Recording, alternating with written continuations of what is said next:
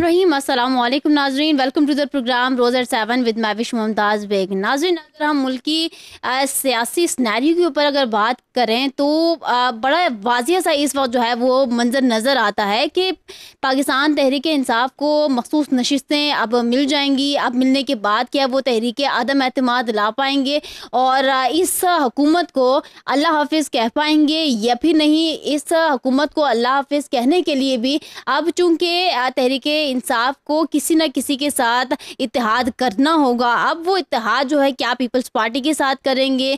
क्या मौलाना साहब के साथ करेंगे और दीगर जमातों के साथ करेंगे। पीपल्स पार्टी के साथ इतिहाद करने के लिए तहरीक इंसाफ ये कह चुकी है कि तहरीक अदम अतमाद और इसके अलावा किसी भी मामले पर जो है वो पीपल्स पार्टी के साथ नहीं बैठेंगे। तो फिर अब तहरीक इंसाफ करने क्या जा रही है? उनके पास कितने ऑप्शन हैं और किस ऑप्शन को जो है वो सबसे पहले जो है वो चूज़ करेंगे और फिर जो है अपने मामला आगे बढ़ाएँगे? इसके ऊपर नाजरीन बात करेंगे हुकूमत की बात करें तो आ, कहा यह जा रहा है कि हुकूमत कहीं ना कहीं बौखलाहट का शिकार हो गई है, कहीं ना कहीं हुकूमत के बड़े तहफ़ात हैं, वो बैक पे बैठ के जो है वो बड़ी अच्छी प्लानिंग कर रही है और इस हुकूमत को कोई ख़तरा नहीं होगा।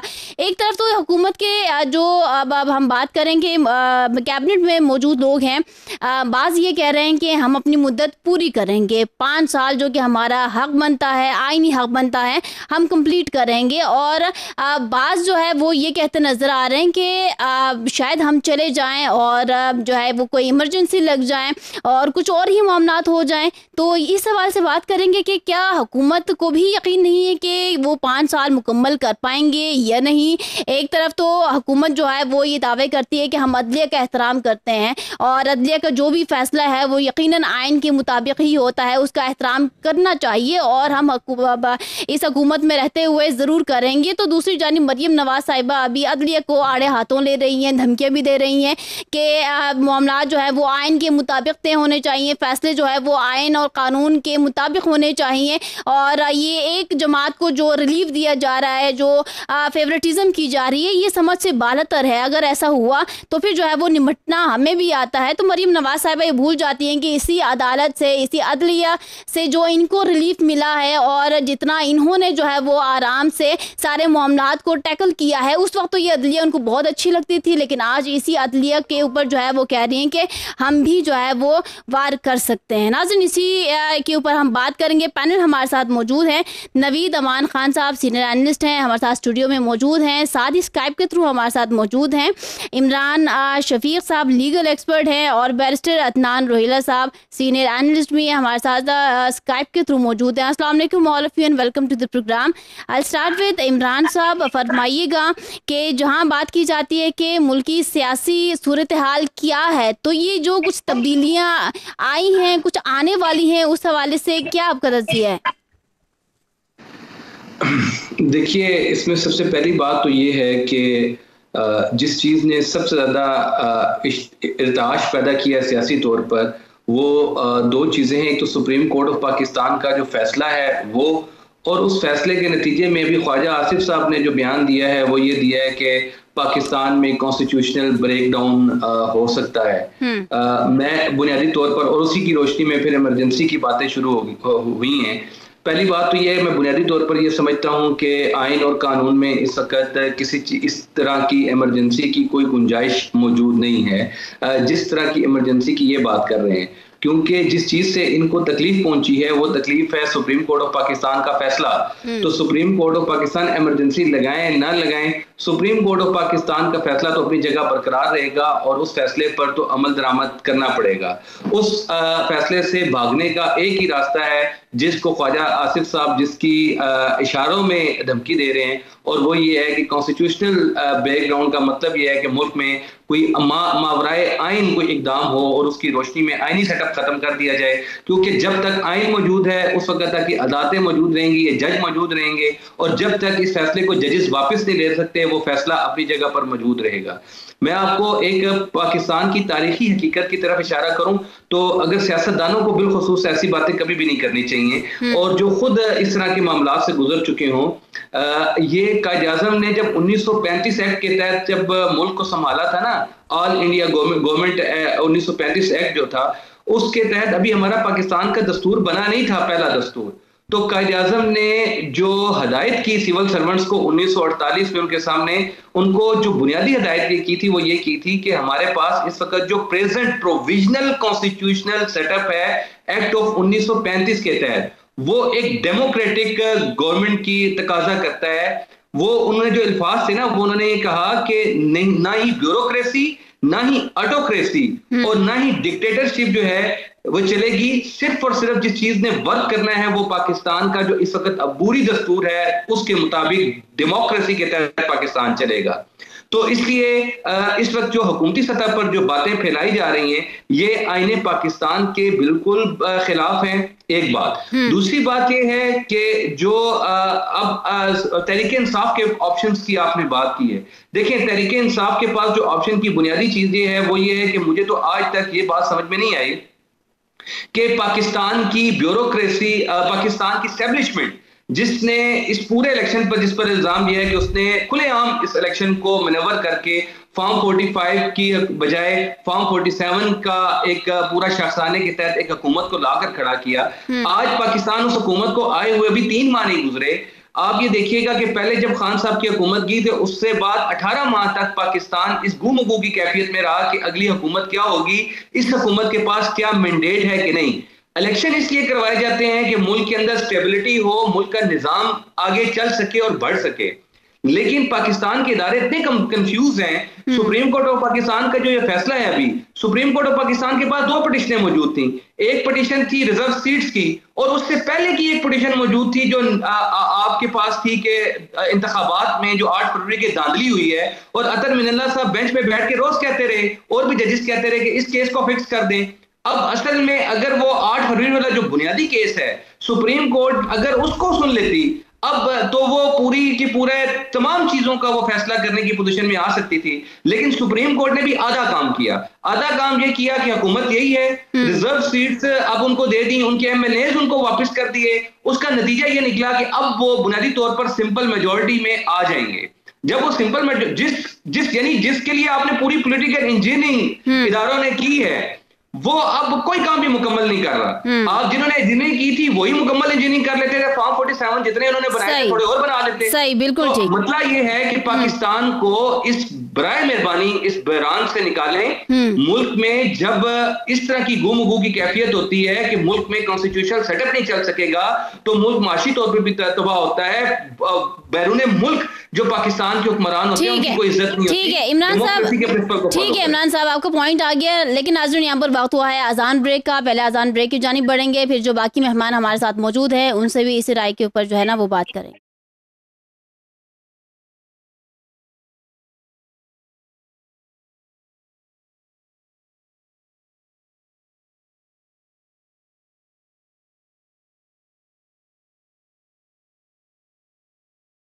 वेलकम बैक नाजरीन बात करेंगे अभी इसी हवाले से कि जो पॉलिटिकल स्नैरियो इस वक्त बना हुआ है, उस हवाले से ये मौजूदा गवर्नमेंट क्या कर रही है अपोजिशन क्या कर रही है? एक तरफ़ तो आलमी अदारे पेश गोई कर रहे हैं कि 18 माह की ये हुकूमत रहेगी, इसके बाद टेक्नोक्रेट्स की गवर्नमेंट आएगी। इमरान खान को जेल में ही देख रहे हैं और मरीम नवाज़ साहिबा अदलिया पे कड़ी तनकीद इस वक्त कर रही हैं। बैरिस्टर साहब फरमाइएगा, मौजूदा पोलिटिकल स्नैरियो जो है ये किस राह पे गामजन है और इस हवाले से क्या आपका तजिया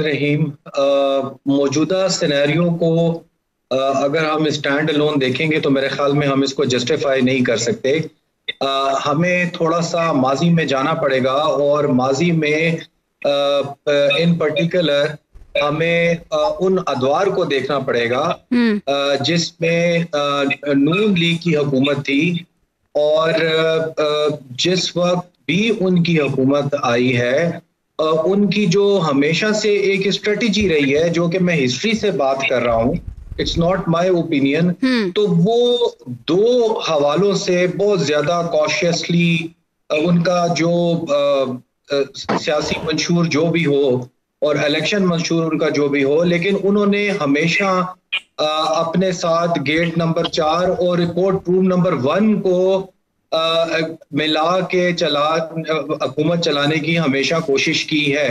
और अगर आप ये देखिए कि उनकी हमेशा ये कोशिश रही है कि हुकूमत चलाने से पहले वो किसी न किसी आने वाले चीफ जस्टिस या आने वाले जो भी आर्मी चीफ हैं उनको एजेंडा बना के चले हैं। और जब भी उनकी हुकूमत अगर डिस्टेबलाइज भी हुई है तो वो भी इन्हीं दोनों इदारों के साथ कॉन्फ्रंटेशन की वजह से हुई है हम्म। अब अगर इस वक्त देखें तो वो उसी रविश पे चल रहे हैं लेकिन वो इस चीज़ को शायद भूल रहे हैं कि इस वक्त उनकी एक्सक्लूसिव हुकूमत नहीं है हम्म। वो एक जो कॉलिशन गवर्नमेंट है एक तो वो उसमें बैठे हुए हैं और पीपल्स पार्टी जो है जो कि हमेशा से उनकी सियासी मुखालिफ रही है इस वक्त वो काबीना में नहीं है और वो इस पोजीशन में है कि इनसे किसी किस्म का भी बहुत लॉन्ग टर्म कोई पॉलिटिकल बदला भी ले सकते हैं और हुकूमत को वो डिस्टेबलाइज भी कर सकते हैं। उनका टोटल फोकस बहरहाल इस वक्त पीटीआई पे है। पीटीआई ने हमेशा अपना जो तर्ज सियासत है, वो एग्रेसिव रखा है और जब से ये हुकूमत आई है आ, हमने बारहा इस बात को डिस्कस किया है कि अगर हुकूमत ये कहती है कि हम बैठ के बात करने को तैयार हैं हम्म। तो उसके लिए हुकूमत को माहौल पहले बनाना होगा और जो ऑप्टिक्स हम हुकूमत आने से पहले या हुकूमत आने के बाद हम देख रहे हैं उससे कहीं भी ये तासर नहीं मिलता कि हुकूमत किसी तरीके से भी जो अपना मुदबराना एक रोल है जो किसी हुकूमत का होना चाहिए वो तो बहरहाल वो नहीं कर रहे। वो यूज़ ऑफ़ फोर्स हो पॉलिटिकल ओपोनेंट्स हो वो जो है तो जुडिशरी के साथ जो कॉन्फ्रेंटेशन इस वक्त उन्होंने शुरू की हुई है। This time they are on a weak wicket लेकिन जो तर्ज अमल है वो बहरहाल जब से uh, मियाँ साहब सियासत में आए हैं उन्होंने ये ही अपना तर्ज अमल रखा है कि वो इस्टेब्लिशमेंट और जुडिशरी को साथ लेके कर चलना चाहते हैं।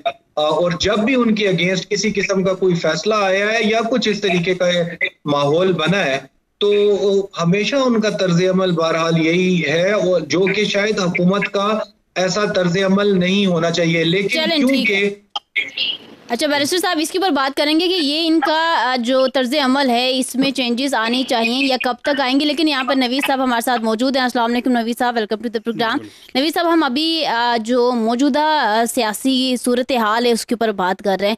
जो हुकूमत का ये बिहेवियर आपको समझ में आता है एक तरफ़ तो कहीं ना कहीं हुकूमत भी ये इशारा दे रही है कि ये हुकूमत ज़्यादा आगे नहीं चलने वाली। ये जो ख्वाजा आसिफ साहब का बयान है उससे क्या नतीजा अखज़ किया जा सकता है? साथ ही दूसरा सवाल ये है कि जो मरीम नवाज़ साहिबा भी अतलिया के ख़िलाफ़ जो इतनी धमकियाँ वो दे रही हैं और वो बड़ी कड़ी तनकीद का निशाना इस वक्त बनाई जा रही हैं। उसके ऊपर क्या कहते हैं आप?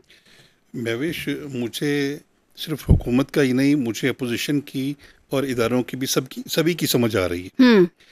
अब सबसे ज़्यादा अफसोसनाक सूरत हाल ये है कि सियासी तौर पर बहुत गंभीर मामला हैं। और ना तो कोई इदारा और ना ही कोई सियासी जमात ना ही हुकूमत में जो बैठे हुए हम्म। लोग हैं वो माकूलियत का मुजाहरा कर रहे हैं और ना ही वो कोई दानशमंदी के साथ इन मामला को समेटने की कोशिश कर रहे हैं ठीक ये तमाम के तमाम जो स्टेक होल्डर्स हैं हम्म। वो हेड ऑन सूरत हाल पैदा कर रहे हैं जो तसादम की सूरत हाल है पाकिस्तान कभी भी तसादम को अफोर्ड नहीं करता ठीक और इस वक्त तो बिल्कुल नहीं करता क्योंकि नए नए इलेक्शंस हुए और उसके बाद नई गवर्नमेंट फॉर्म हुई और अब वो गवर्नमेंट अपनी कारकर्दगी का मुजाहरा करने के लिए अपने अपने इकदाम कर रहे हैं वो लोग हम्म। शुरू हुआ है उनको अब मौका दिया जाना चाहिए मैं ये समझता हूँ कि जब इमरान खान साहब आए थे तो कहा यह जाता था कि नए आए हैं और तजर्बाकार नहीं है इनको मौका दिया जाना चाहिए और छः महीने तो बिल्कुल तनकीद नहीं करनी चाहिए हम्म। और अब इनको हम देखें कि ये क्या करते हैं तो बहरहाल जिस तरीके से उनको टाइम दिया यहाँ तक यहाँ तक कि अगर हम बात करें ना कि इस हुकूमत को मजीद आगे टाइम देना चाहिए लेकिन ये अब तो मामला जो नहीं वो पलट ये गया कि मखसूस नशिस्तें एस आई सी यानी कि तहरीक इंसाफ के पास चली गई हैं। अब वो तहरीक अदम अतमाद ला सकते हैं। उनके पास कितने ऑप्शन हैं? उनको क्या करना चाहिए? तहरीक अदम अतमाद नहीं ला सकते। उनके पास तहरीक अदम अतमाद लाने के लिए इंडिपेंडेंटली उतने नंबर नहीं हैं हम्म। जो तहरीक अदम अतमाद लाने के लिए ज़रूरी हैं। उन्हें इन तहरीक अदम अतमाद का शौक पूरा करने के लिए पीपल्स पार्टी को साथ मिलाना होगा। हम्म। अगर पीपल्स पार्टी साथ मिलेगी तो ये पॉसिबल हो सकता है। और पीपल्स पार्टी कभी भी पीटीआई को फेवर करने के लिए तरीके अदम अतमाद नहीं लाएगी। वो अगर लाएगी तो अपने सियासी मुफाद को सामने रख के लाएगी हम्म। कि उन्हें तरीके अदम अतमाद में पी एम एल एन की गवर्नमेंट गिराने के बाद हम्म। अगली जो गवर्नमेंट की फॉर्मेशन होगी उसमें क्या हिस्सा मिलेगा? अगर उसमें उनको हिस्सा नहीं मिलेगा या हम्म। इतना ही हिस्सा मिलेगा जितना उनके पास अब है तो वो कभी भी वो अपना कंधा फराम नहीं करेंगे इमरान खान को। पीपल्स पार्टी मफादात की सियासत कर रही है तमाम ही मफादात की सियासत करते हैं। इसमें कोई दो राय नहीं है। और जो पीपल्स पार्टी है उसकी जितनी हरीफ पीटीआई है इस वक्त हम्म। उतनी ही उनकी हरीफ पीएमएलएन भी है। तो अगरचे वो उसके इस वक्त हलीफ भी हैं हम्म। गवर्नमेंट में। लेकिन मैं ये समझता हूँ कि अगर अदम अतमाद की बात की जाए तो अदम अतमाद नामुमकिन है। वो नहीं आ सकती। ये सिर्फ़ एक धमकी हो सकती है या एक भपकी हो सकती है यहाँ तक चले अदम अतमाद नहीं आएगा। फिर तहरीक इंसाफ आगे क्या करेगी? तहरीक इंसाफ इस वक्त हेड ऑन कोलिजन की तरफ़ जा रही है और यही सिचुएशन उनको सूट करती है। हम्म। इस वक्त मैं ये समझता हूँ कि इमरान खान सबसे ज़्यादा कामयाब हैं। वो कामयाब इसलिए हैं कि उन्हें पता है कि वो जेल में हैं और वो जेल से बाहर आते हुए नज़र नहीं आते और वो किसी किस्म की मुफाहमत का सहारा लेना नहीं चाहते। हम्म। वो कहते हैं कि मैं बात करूँगा तो फौज से करूँगा आर्मी चीफ से करूँगा और किसी से हम्म। नहीं करूँगा। तो ये जमहूरी निज़ाम है। यहाँ पर जमहूरी निज़ाम में के तहत ही आप इलेक्ट होके आपकी पार्टी इस वक्त असम्बलियों में आई है। अगर आपको जमहूरियत का सहारा नहीं लेना था तो आप उसमें इलेक्शन में ना आते। जब आप आ गए तो आपको ठीक है नबी साहब एक एक और सवाल ये कि जो अभी हुकूमत कह रही है कि तहरीके इंसाफ पे पाबंदी लगानी है पाबंदी लगा पाएँगे? मैं नहीं समझता कि वो लगा सकेंगे। अब वजह? वजह ये है कि ये ये सूरत हाल पाकिस्तान को मजीद एक क्राइसिस की तरफ़ ले जाएगी। हम्म। और अगर हुकूमत ने ये गलती की तो फिर हालात को और ज़्यादा संभालना मुश्किल हो जाएगा। अगर देखें दोनों सूरतों में ये दोनों काम नहीं हो सकते। हम्म। ना तो अदम एतमाद आएगी हम्म। ना पाबंदी लगेगी। और जो सूरत हाल इस वक्त हेड ऑन कोलिजन की है ये इमरान खान साहब को इसलिए सूट करती है कि उन्हें ये पता है कि मैं इकतदार में आने वाला नहीं। और मुझे जेल से भी नहीं निक, निकाला जा सकेगा। तो वो कहते हैं कि अगर मैं बाहर भी नहीं आऊँगा और इकदार भी नहीं मिलेगा तो मेरी तरफ़ से ये मुल्क भी जाए और ये सियासत भी जाए और ये जो गवर्नमेंट है वो भी जाए और ये निज़ाम भी जाए तो इसलिए अगर ऐसा हुआ हम्म। अगर दस दिन के अंदर सूरत हाल मजीद गंभीर हुई हम्म। और ये गवर्नमेंट का जो इकतदार है ये तलपट हुआ हम्म। तो उसके सबसे ज़्यादा बेनिफिशरी पीटीआई के इमरान खान साहब होंगे वजह उसकी ये है कि वो तो पहले इकतदार से बाहर हैं उन्हें तो उनका तो सब कुछ ख़त्म हो चुका है इसलिए वो इनका खत्म करना चाहते हैं कि अगर मैं नहीं रहा तो फिर इनके पास भी गवर्नमेंट ना रहे। और अगर इस सूरत में माशाल्लाह लगता है हम्म, हम्म। तो पीएमएलएन लूजर भी होगी हम्म। और, और लेकिन एक तरफ़ से उनको हमदर्दी भी मिलेगी। लेकिन वो हमदर्दी उनके किसी काम नहीं आएगी फ़िलहाल। चलें ठीक है ठीक है। इमरान साहब two quick questions for you ये फरमाइएगा कि क्या मौजूदा सूरत हाल के तहत तहरीक इंसाफ के पास पावर है? या सबसे ज़्यादा पावर जो है वो पीटीआई ही इस वक्त रखती है। सेकंड ये कि वज़ीर दिफा का आइनी ब्रेकडाउन की जो वार्निंग उन्होंने दी है वो उन्होंने क्यों दी है? क्या ये हुकूमत मुद्दत पूरी करेगी या नहीं? तो आ, मैं उनकी बात से इतफाक करते हुए आगे बात ये बढ़ाऊँगा कि सबसे पहली बात तो ये है कि हुकूमत के पास इस वक्त कोई ऑप्शन नहीं इमरजेंसी लगाने का कानूनी और आईनी तौर पर। जो भी एक्शन लेंगे वो सुप्रीम कोर्ट में चैलेंज होगा और वो स्ट्राइक डाउन हो जाएगा। इसी तरह पीटीआई पर भी पाबंदी लगाने का कोई भी जवाब इस सेंस में नहीं बन सकता कि बिल आखिर ये डिक्लेरेशन जो है फेडरल गवर्नमेंट का ये सुप्रीम कोर्ट में जाना है और सुप्रीम कोर्ट आईनी तौर पर हम्म। ये आइन में लिखा है। तो सुप्रीम कोर्ट ने उसको कंफर्म करना है तो ये तब पाबंदी लग सकती है वरना ये पाबंदी भी नहीं लग सकती। वो ऑप्शन भी इनके पास नहीं हो सकता। और तीसरा ये है कि जो इस वक्त जो सिनेरियो बन रहा है उसमें ये है कि सुप्रीम कोर्ट का फैसला अपनी जगह पर मौजूद है पीटीआई को इन्होंने वो निश्चितें देने ही देनी है उनसे इनको कोई छुटकारा नहीं है हम्म। और उसके बाद पीटीआई बारह सिंगल लार्जेस्ट पार्टी तो बन जाएगी लेकिन पीटीआई तीसरी बात जो आप बात कर रही थी कि वो तरीके अदम अतमाद लेकर आए। तो बहरहाल एक सौ चौदह पंद्रह वोटों के साथ आप तरीके अदम अतमाद नहीं लेकर आ सकते जब तक आपके पास वन सेवेंटी प्लस जो है वो वोट्स ना हो तरीके उसके लिए। इसलिए इस वक्त जो तीनों ऑप्शन है ये एक ऐसा डेड लॉक है कि जिसमें तीनों तरफ़ जो है पाकिस्तान की स्टैब्लिशमेंट पाकिस्तान की पीटीआई और जो दूसरी तरफ़ से इतिहादी जमात है इसी तरह पीपल्स पार्टी की आपने बात की पीपल्स हम्म। पार्टी को किसी तौर पर भी इमरान खान जैसा इमरान खान साहब हो सकता करते भी नहीं लेकिन अगर करने के लिए तैयार भी हो जाए तो पीपल्स पार्टी को ये जो सेटअप है शहबाज शरीफ वाला ये बहुत सूट करता है हम्म। इस सेटअप में जो है वो अपने सारे पर्स एंड प्रिविलेजेस और जो पावर एंजॉय करनी है वो एंजॉय कर सकते हैं इमरान खान साहब के मिजाज का तो क्या है? वो तो अगर उनके साथ अगर इतिहाद करके वो अगर इकतदार में आ जाते हैं किसी तौर पर अच्छा इमरान तो सबसे पहले इमरान साहब इस, तो इस, पहला इस सेटअप में पीपल्स पार्टी को क्या बेनिफिट है? इतनी इतने क्या मतलब उनको मुझे ये बात नहीं समझ में आ रही कि वो सिर्फ़ आईनी अहदों पर इस वक्त बैठे हुए हैं और इतना क्या उनको जो है वो प्रिविलेज मिल रहा है? देखें उनके लिए बताते तो कोई मसला नहीं है। गवर्नमेंट ने पीएमएल ने उनको बार बार ऑफ़र की है कि आप हुकूमत में शामिल हो जाएँ। वो जानबूझकर हुकूमत में इस सेटअप में अभी इस वक्त में शामिल होना नहीं चाहते। जब हो सकता है बाद में जाके क्राइसिस से ये सारा निज़ाम निकल जाए क्योंकि इस निज़ाम के बारे में वो खुद भी यकसू नहीं है। कॉन्स्टिट्यूशन अहदे उन्होंने सारे ले लिए हैं तो यही किसी पार्टी के लिए होता है। सिंध में उनकी गवर्नमेंट है इसी तरह कराची में उन्होंने अपना उनका जो एक मेन स्टेक होल्डर है कराची में भी उनकी अपनी हुकूमत है ज़रिए हुकूमत भी उनकी है। तो उनको जो इस पंजाब में उनका कुछ भी नहीं है केपी हम्म। में उनका कुछ भी नहीं है बलोचिस्तान में उनके पास जो पावर शेयरिंग के फार्मूले के तहत वो आ जाते हैं उनको वो अपना हिस्सा निकाल लेते हैं तो इसलिए जो दो बड़े सूबों में उनका वजूद ही नहीं है तो उन्होंने और क्या हासिल करना है वज, वज, दो चार वजारतें जो उन्होंने लेनी है पीटीआई के पास अगर वो चले जाएँगे तो जितना कुछ उनको पीएमएलएन ने दे दी है हम्म। सदारत दे दी सेनेट दे दी तो इतना तो इमरान खान साहब कभी भी उनको ना देते और कभी भी बरकरार भी ना रहने देते और जिस वक्त वो इस क्राइसिस से निकलेंगे तो अगर उनके साथ मेरा नहीं ख्याल कि ऐसा कोई ऑप्शन हो सकता है कि जरदारी साहब और इमरान खान साहब आपस में हाथ मिलाएँ और जरदारी साहब अपना मुस्तबिल जो है वो इमरान खान के हाथों में दे दें। मेरा नहीं ख्याल ऐसा होगा, सिर्फ़ एक ही सूरत हो सकती है और वो ये कि पाकिस्तान की स्टैब्लिशमेंट ये तय कर ले कि हाँ जी, क्योंकि इस वक्त जो पूरा सेटअप बनाया हुआ है, इस बात को समझने की ज़रूरत है, उसके ये सारे के सारे लोग जो इस वक्त हुकूमत के अंदर हैं, ये बेनिफिशरी हैं इस्टेब्लिशमेंट के। तो जो इस्टेब्लिशमेंट चाहेगी ये उनके मोरे हैं बुनियादी तौर पर। ये कोई अवाम का मैंडेट इनके पास नहीं है। इनके पास जो मैंडेट है उस मैंडेट के मुताबिक ये कुछ भी नहीं कर सकते जब तक इनको इस्टेब्लिशमेंट से हट के ये कुछ भी नहीं सोच सकते। ठीक है बारिश मैं इसमें थोड़ा सा इजाफा कर दूँ जी जी।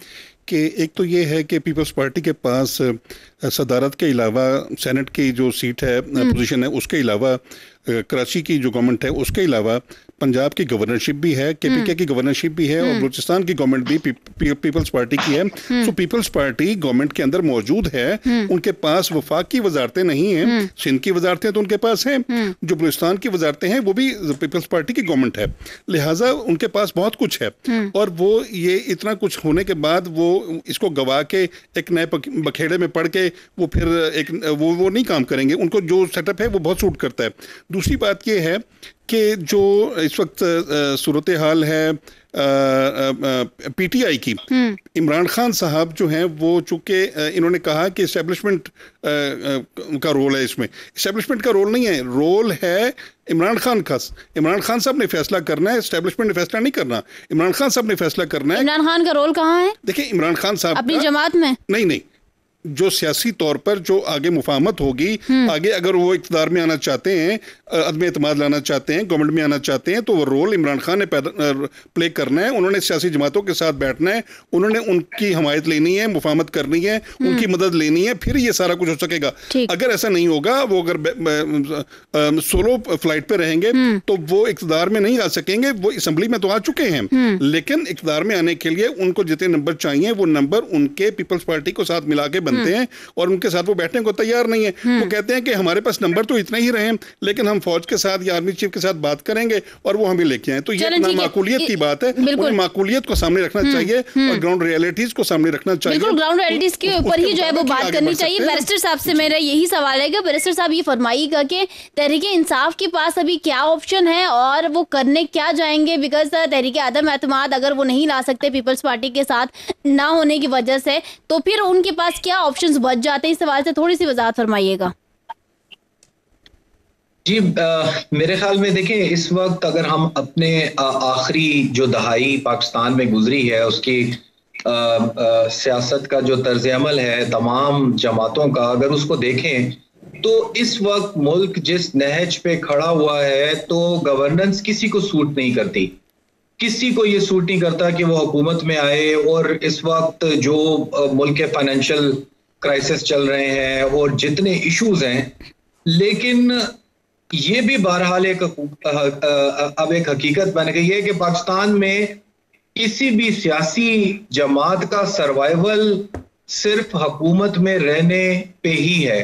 उसकी वजह यह है कि जो तर्ज अमल हुकूमत में आने के बाद अपोजिशन के साथ अपनाया गया है, जो भी गवर्नमेंट आई है तो अब तो सबने कान पकड़ के वो कहते हैं कि भले जो तरीका भी हो हमारा जिस तरह अभी ये बहुत बड़ी बात चल रही है फॉर्म 45, 47 और जैसे ही जब गवर्नमेंट को थोड़ा सा भी ये सेंस हुआ कि शायद जो इस वक्त हमारी वीकनेसेस हैं वो एक्सपोज हो जाएँ और जो इलेक्शन ट्रिब्यूनल के हवाले से ऑल आउट एक एग्रेसिव हमत अमली और फिर अब अदलिया के साथ क्योंकि उनके पास फैसला साजी है। तो उस हवाले से तो वो बड़े क्लियर हैं।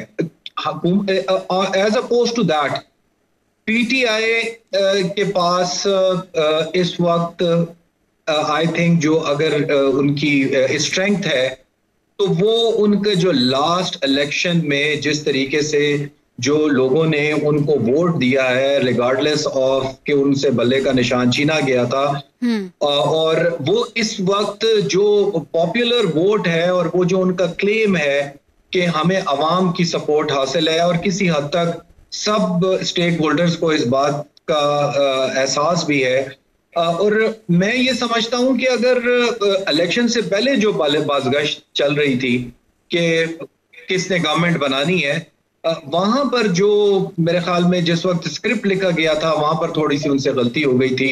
ओवर कॉन्फिडेंस कह दें कि वहाँ पर वो सिचुएशन सही तरह रीड नहीं कर सके। अगर वहाँ पर इंतज़ाम जरा बेहतर होता और बाकायदा तौर पे अगर उसके ऊपर होमवर्क होता तो हम्म। मेरा नहीं ख्याल कि अभी पीटीआई इस पोजीशन में होती।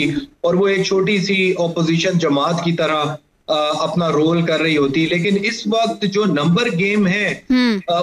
उसकी वजह से और जो इस वक्त मखसूस नशस्तों का जो इतना बड़ा एक इम्पैक्ट है वो बहरहाल पीटीआई को हुकूमत साजी की पोजीशन में तो नहीं लेके आता और ना ही वो तहरीक आदम एतमाद क्योंकि ये आईनी चीज़ें हैं और इसके लिए नंबर चाहिए और मेरे ख्याल में इस वक्त कोई सियासी पार्टी भी पीटीआई के साथ इतिहाद करने की पोजीशन में नहीं होगी। मौलाना साहब कोई थोड़ा बहुत उनको हवा देते हैं लेकिन ऑफ़ कोर्स उनके अपने एजेंडास के मुताबिक वो चलते हैं।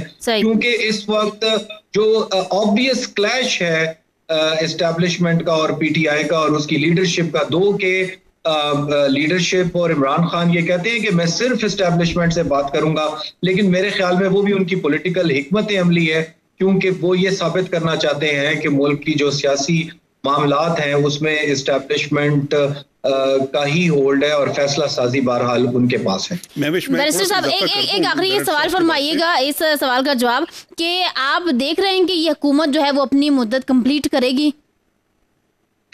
देखिए हुकूमत को तो बहरहाल मुद्दत कंप्लीट करनी चाहिए लेकिन इस वक्त माहौल तो देखिए क्या हम किसी किस्म की अगर कन्फ्रंटेशन अगर हम अफोर्ड नहीं कर सकते हम्म। तो हम किसी किस्म का नया इलेक्शन भी अफोर्ड नहीं कर सकते। हमने बहुत मुसीबतें करके एक इलेक्शन करवाया और हम उस इलेक्शन को एक मसीहा समझ रहे थे कि जब इलेक्शन होगा तो हमारे तमाम मामला ठीक हो जाएँगे लेकिन हमारे मामला बिगड़े ही हैं कोई हम्म। इदारा अपने तरीके से काम नहीं कर सका और जिसको साइड लाइन करना था बहरहाल उसको साइड लाइन किया गया मेरे ख्याल में ठीक है जो एक इन हाउस तब्दीली है क्योंकि नंबर ऐसे नहीं है हम्म। और ये कॉन्फ्रेंटेशन पे ये बात चलेगी जब तक पीटीआई के पास कोई ऐसी नई सिचुएशन जिसमें एक बड़ी पार्टी उनके साथ ठीक है बैरिस्टर साहब। अच्छा नवी साहब आपकी जानी पड़ूँगी लेकिन पहले यहाँ पर बात हुआ है एक शॉर्ट से ब्रेक का। नाजरीन ब्रेक की जानी पड़ते हैं? Stay with us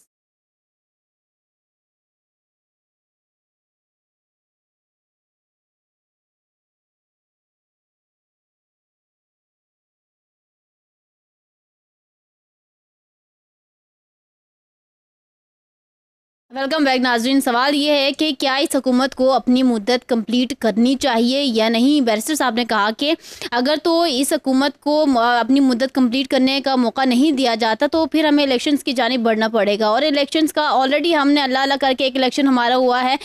नबे दिन के अंदर इलेक्शन करवाने थे, वो भी नहीं हो पाया। फिर जो है वो आठ फरवरी को इलेक्शन हुआ है। उस इलेक्शन के ऊपर भी सवालों की अभी तक भरमार है शकोशोबात हैं। सो यहाँ पर नवी साहब की जानब बढ़ लेते नवी साहब, फरमाइएगा। मैं इलेक्शंस नए इलेक्शंस तो नामुमकिन है। हम्म। ये तो आउट ऑफ़ क्वेश्चन है बात। ये नहीं होगा क्योंकि अभी तीन महीने पहले इलेक्शंस हुए हैं और उसके बाद ये नहीं हो सकता कि मुल्क फिर चौक हो जाए और फिर सारा मुल्क एक नए प्रोसेस में पड़ जाए और खरबों रुपया इसके ऊपर झोंक दिया जाए। हम्म। और उसके बाद भी वो फिर ये नहीं कहा जा सकता कि वो अगले इलेक्शंस कंट्रोवर्शियल होंगे या मुनसिफाना होंगे। उसके बाद फिर यही ड्रामा होगा। तो इसलिए इलेक्शंस तो नहीं होंगे। हम्म। अगली बात यह है कि जो इमरान खान साहब हैं वो इस अब तक वो बहुत कामयाब हैं हम्म। कामयाब इसलिए कि उन्होंने हर इदारे को हर इंस्टीट्यूशन को कंट्रोवर्शियल कर दिया है और ये उनकी महारत है उनका जो एजेंडा है वो यही था कि पार्लियामेंट को उन्होंने कंट्रोवर्शियल कर दिया कि ये इलेक्शन धांधली ज़्यादा है। हम्म। लिहाजा वो उसको नहीं मानते। हालाँकि उनके सारे मेंबर्स उसी धांधली ज़्यादा असम्बलियों के अंदर मौजूद हैं हम्म। और उसी के अंदर वो अपनी सीटों की जंग लड़ रहे हैं।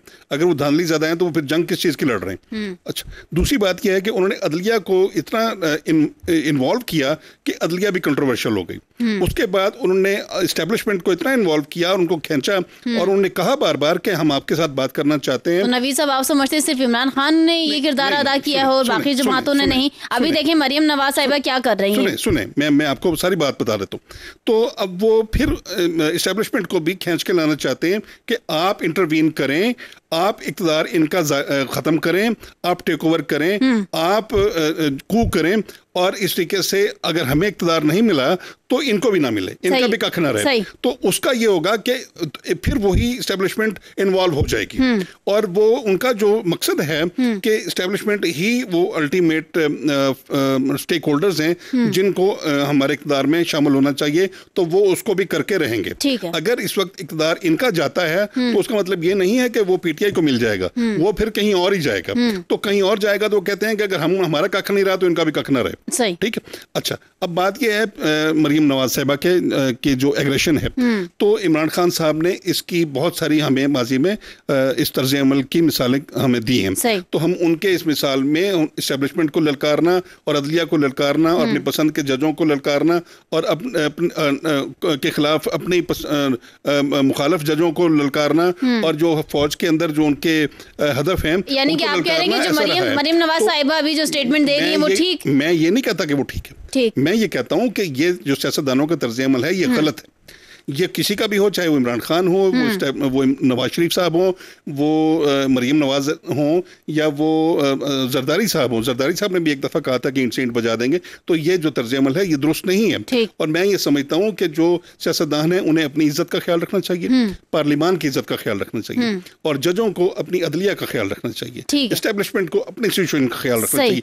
तमाम इदारों को अपने दायरा कार में रहते हुए उनका ख्याल रखना चाहिए ताकि उनकी इज़्ज़त कायम रहे उनका वकार कायम रहे उनका जो किरदार है इस पूरे सियासी निज़ाम को आगे बढ़ाने में हम्म। वो कायम रहे और उसकी एक ख़ास सेंटिटी है उसकी एक ख़ास साख है वो साख कायम रहे ताकि वो एक पाकिस्तान में जमहूरी निज़ाम को आगे बढ़ा सके। ये निज़ाम आगे बढ़ेगा हम्म। तो इस मुल्क को वो तरक्की दे सकेगा। हम्म। दूसरे मुल्कों के जो पाकिस्तान के ऊपर एतमाद की फुकदान है हम्म। वो बढ़ सकेगा और मुआशी तरक्की आगे हो सकेगी। तो चीन का जो इस वक्त पाकिस्तान के हवाले से कंसर्न है वो इसको पोलिटिकल स्टेबिलिटी के हवाले से था। और आप ये देखिए कि जैसे ही चीन के वज़ीर यहाँ पर ये कह के गए कि हमें यहाँ पे पोलिटिकल स्टेबिलिटी सूट करती है ताकि हम सी पैक के फ़ेज़ टू को आगे बढ़ा सकें हम्म। उसके बाद फिर इमरान खान साहब का जो एजेंडा है वो आगे बढ़ा और फिर तमाम कंट्रोवर्सी आगे बढ़ गई हम्म। और फिर अदलिया की जो सहूलतकारी है वो आगे बढ़ी हम्म। और उसकी वजह से जो इस वक्त सूरत हाल है वो फिर वो गोमोगो की सूरत हाल है जो इस निज़ाम को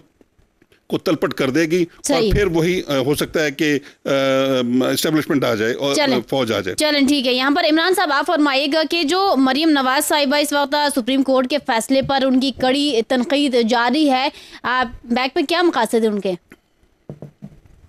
देखिए मरियम नवाज़ साहबा के बैग के मकासद तो पता नहीं क्या है लेकिन एक बात तो हमदर्दी भी तो उनसे आपको करनी चाहिए कि अभी तीन महीने हुए हैं उन्हें वजारत आला मिली है पहले उनको हुकूमत मिली थी तो वो उनको मुझे क्यों निकाला वाला सीन शुरू हो गया और अच्छा। अब दोबारा जब उन्हें हुकूमत मिली है तो अभी जो है वो अदालतों ने ये काम शुरू कर दिया और मैं आपको एक बात बताऊँ कि ये हुकूमत के लिए सिर्फ़ इस वक्त जो सबसे बड़ा चैलेंज है वो है इलेक्शन ट्रिब्यूनल्स का बनना हम्म। इस्लामाबाद में जिस तरह का इलेक्शन ट्रिब्यूनल बना है ये अगर तीन सीटें इनके हाथ से निकल गई और फॉर्म 45 इनके पास नहीं है हम्म। और अगर ये इसमें नाकाम रहते हैं और ये सिलसिला एक एक करके अगर इनकी विकेट गिरना शुरू होगी हम्म। तो अगले चार पाँच माह में अगर इलेक्शन ट्रिब्यूनल ठीक तरीके से उन्होंने काम कर दिया इस वक्त सिर्फ़ और सिर्फ़ इस हुकूमत का जो दारो मदार है क्याम है यही लड़ाई चल रही है लाहौर हाई कोर्ट के चीफ जस्टिस साहब का सुप्रीम कोर्ट में भेजा जाना और उसके बाद नई जो अभी मुलाकात हुई आयशा नीलम साहबा के साथ वो आप सारी चीज़ें इसको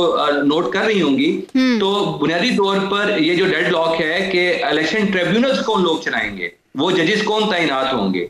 जिस दिन इलेक्शन ट्रिब्यूनल के जजेस जो है वो वो वाले तैनात होंगे जो बुनियादी तौर पर पहले शहजाद अहमद साहब करके चले गए हैं तो अगर वही बरकरार रहते हैं तो ये अगर इसी मेरिट पर तेज़ी के साथ काम हुआ तो ये महीनों की बात है कि इनकी जो अक्सरियत जो बनाई गई है फॉर्म 47 के ज़रिए, ये फॉर्म 45 सामने आने के बाद ये अकलियत में बदल जाएगी और पूरा निज़ाम जो है, जो इन्होंने बनाया है, वो तलपट हो सकता है। अच्छा सही। बैरिस्टर साहब, आप भी फरमा दीजिएगा इसी के ऊपर के फॉर्म 45 47 की जंग तो खैर आज भी जारी है अभी तक जो इसी के ऊपर बातचीत की जाती है। इलेक्शन ट्रिब्यूनल्स की बात कर रहे हैं।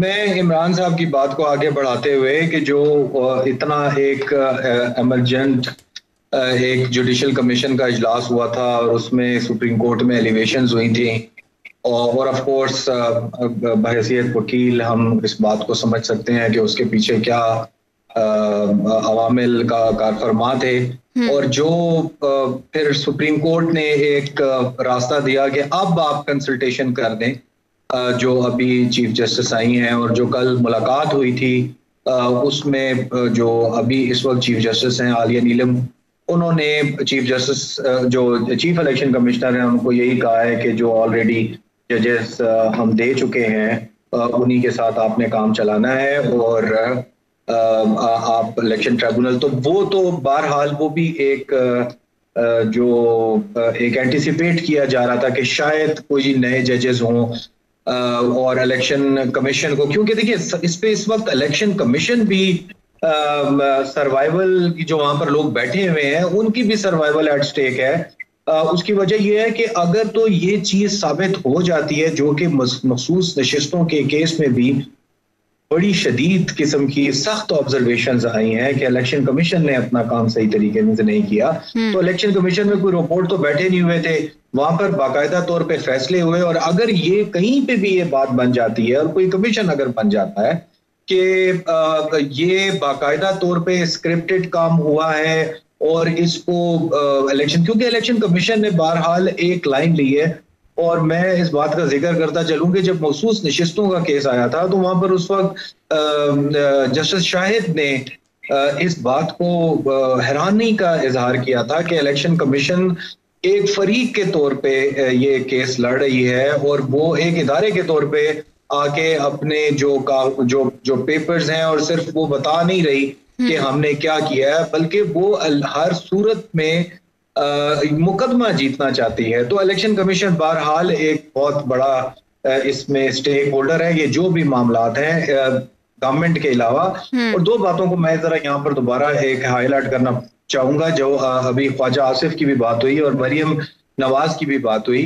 देखिए बात यह है कि वो दोनों जो बातें कर रहे हैं उसका एंड जो है there is darkness at the end of the tunnel वो कहते हैं there is light at the end of the tunnel लेकिन ये जो बातें कर रहे हैं अगर इमरजेंसी की बात करें या वो ये कहें आनी हाथों से सुप्रीम कोर्ट से निपटेंगे हम्म। मासी करीब में हमारे पास ऐसी बहुत सी एग्ज़ाम्पल मौजूद है कि इसी तरह की लैंग्वेज पब्लिक गैदरिंग में इस्तेमाल करने पे कॉन्टेम्प्ट ऑफ़ कोर्ट के नोटिस भी हुए हैं और डिस्कालिफिकेशन भी हुई हैं अगर मरियम बीबी को इस तरह का कोई कॉन्टेम्प्ट नोटिस इशू हो जाता है हम्म। और उनकी डिस्कालिफिकेशन हो जाती है किसी कॉन्टेम्प्ट की प्रोसीडिंग में तो फिर उसके बहुत लीथल कॉन्सिक्वेंसेज होंगे और उसके कॉन्सिक्वेंसेज जो है वो मुल्क के पूरे सियासी निज़ाम पे आएँगे। तो मेरे ख्याल में जब आप गवर्नमेंट में हैं हम्म। तो आपको चाहिए कि ग्रेस का मुजाहरा करें। अगर आप ग्रेस के साथ चलेंगे तो शायद आगे से रिएक्शन इतना बुरा नहीं आएगा।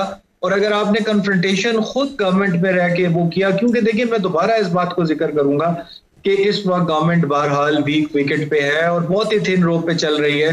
तो इस वक्त उनको एटलीस्ट ये सूट नहीं करता कि वो अपने सासी में क्योंकि वो एक्चुअल पीटीआई का स्टेक नहीं है। अगर उनके पास मखसूस नशिस्तें भी चली जाएँगी या अदर भी चला जाएगा तो उनके ऊपर कोई बड़ा फ़र्क नहीं पड़ेगा। इसलिए कि उनका जो फोकस है वो एजेंडा वही रहेगा। हम्म। लेकिन हुकूमत पे बहरहाल इसका बहुत बड़ा एक इम्पैक्ट आएगा और अगर इसी तरीके से वो अदलिया पे तनकीद करेंगे और हम्म। उनको पार्टी बनाने की कोशिश करेंगे तो फिर बहरहाल ये चले सही। ठीक है बैरिस्टर साहब यहाँ पे ठीक है यहाँ पर अगर मरियम साहिबा को कोई नोटिस इशू हो जाते तो मुझे इमरान साहब की बात अभी दोबारा याद आ रही है कि हमें उनके साथ हमदर्दी करनी चाहिए कि अभी तो उनकी हुकूमत बनी है। अभी तो वो वज़ीर आला जो है वो बनकर काम करने की कोशिश कर रही हैं।